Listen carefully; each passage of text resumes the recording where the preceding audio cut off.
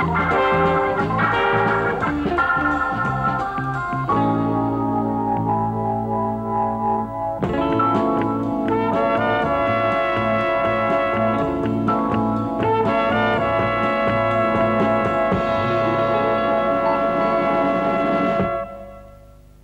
hoogbouw bestaat uit driemaal zes laboratoriumverdiepingen en vier installatieverdiepingen.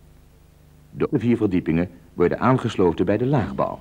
Drie verwarmingsketels met een gewicht van 25 ton per stuk worden in het ketelhuis op de 27e laag aangebracht.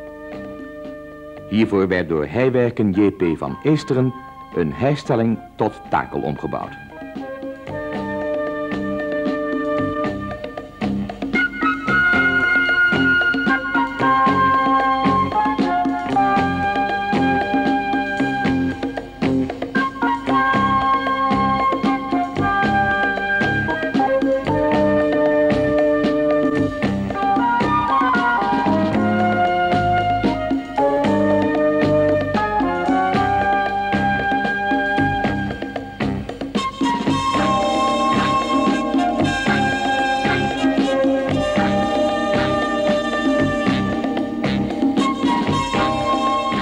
Een bijzonder gebouw dat op een briljante wijze is ontworpen door de architecten van Emden, Choisy, Roorda van IJsinga, Smelt en Wittermans.